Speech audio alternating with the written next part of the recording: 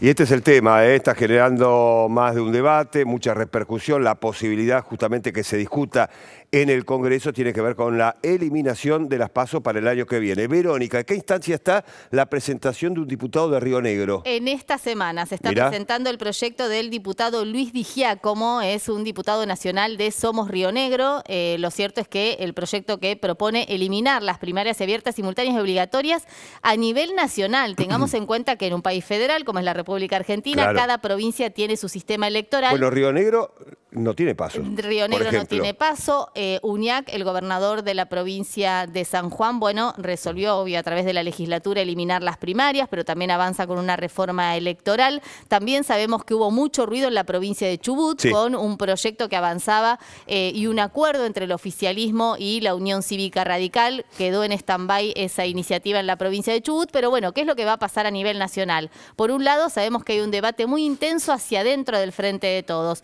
Legisladores que están a favor, legisladores que están en contra. Por ejemplo, el caso de Leandro Santoro, diputado nacional por la ciudad de Buenos Aires, que dijo, bueno, no es este el momento de dar el debate, el debate recién habría que darlo para las elecciones de 2025. Pero también sabemos que desde el oficialismo hay muchos legisladores que consideran que eh, obviamente la cuestión económica, la situación que atraviesa la República Argentina y la posibilidad de ahorrar 20 mil millones de pesos es uno de los argumentos más sólidos. Bueno, por eso fueron eliminadas las pasos en varias provincias, Salta también, eh, entre otras provincias. Eh, este es el argumento, ¿no? El dinero que se está gastando en un país con serios problemas económicos. Exacto, y tener en cuenta que en el viaje que concretaron 10 gobernadores del norte grande con Guado de Pedro, con el ministro del Interior, el ministro del Interior prefirió no opinar, pero los gobernadores coincidieron en la necesidad de eliminar las primarias abiertas, simultáneas y obligatorias. Un dato que no es menor, la visita del presidente Alberto Fernández hoy a la provincia de Córdoba. Va a estar con Juan Schiaretti. Sabemos que eh, los diputados cordobenses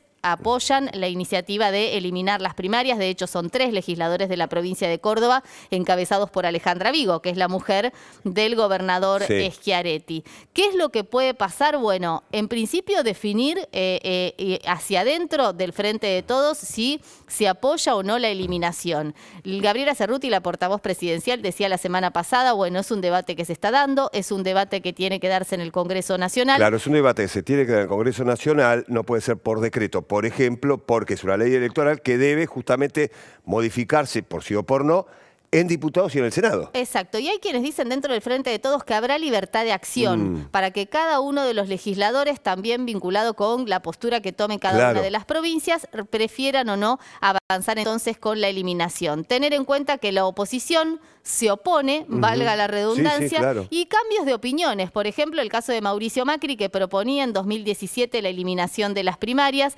reiteró esa propuesta en las elecciones de 2019, no prosperó. Recordemos también a María Eugenia Vidal, que en aquel momento era gobernadora de la provincia de Buenos Aires y trató de despegarse de ya los números que no eran alentadores para Mauricio Macri en 2019. No lo logró, pero ella también proponía no solamente desdoblar las elecciones de la provincia de, Buenos Aires de las nacionales, sino además la posibilidad de eliminarlas. Es el debate que se va a dar en el Congreso Nacional y la expectativa está puesta en qué va a pasar con algunos otros legisladores. Florencio Randazzo y Consenso Federal dijeron que están en contra de cualquier reforma en el sistema electoral, pero hay cierta expectativa sobre lo que pueda pasar con los libertarios, en particular con Javier Milei. Gracias, Vero. Sí.